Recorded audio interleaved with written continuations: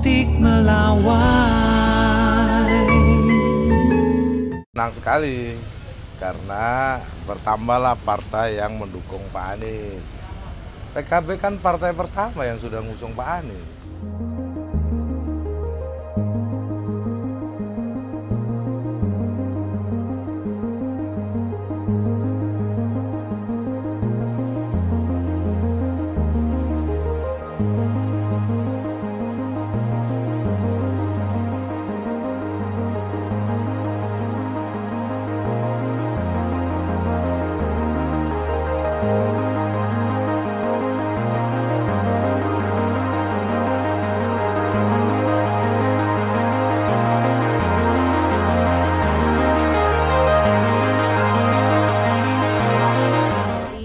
DPP PKB bagaimana? Karena kan sejak awal baru DPW doang di Jakarta yang mengusulkan. Ya tentu PKB senang sekali karena bertambahlah partai yang mendukung Pak Anies. PKB kan partai pertama yang sudah ngusung Pak Anies. Kan tinggal ngumumkan saja kan. Tapi kan belum Dan- ada surat rekomendasi dan tanda tangan secara Diketik nanti secara resmi masih waktunya masih panjang. Yang jelas masyarakat DKI penting, penting tahu aspirasi untuk mendukung Pak Anies sudah disampaikan oleh DPW PKB DKI dari awal bulan apa ini. Nah, dan harapan sekarang partai-partai yang pendukung Pak Anies saatnya untuk duduk bersama gitu aja. Ya kan ini deklarasi masing-masing aja. Masing-masing deklarasi dan sekarang duduk bersama melengkapi apa yang menjadi kelengkapan seorang calon. Pertama tentu kelengkapan cek dulu eh, partainya sudah 20% atau belum. Yang kedua pasangannya siapa gitu.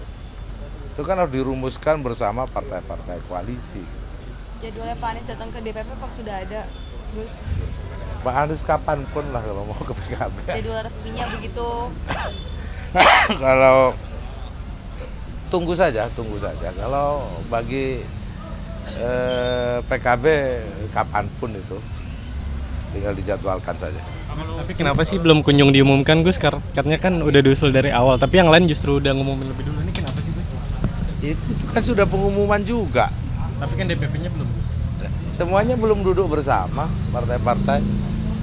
PKB sudah dari awal kan mengumumkan itu gitu. Nah sekarang sudah ada tiga katakanlah PKB, PKS, Nasdem. Pertanyaannya kapan duduk bersama itu?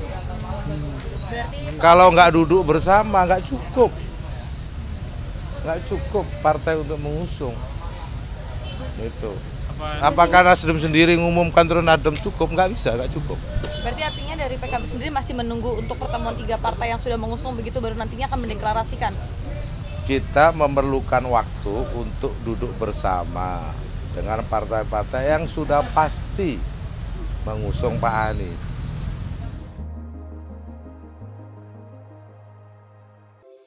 Di antara banyak sumber informasi, kami layak dipercaya. Karena kami menggali lebih dalam,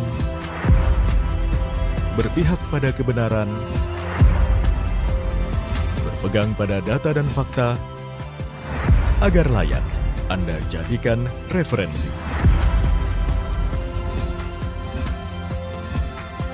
Kompas TV, independen, terpercaya.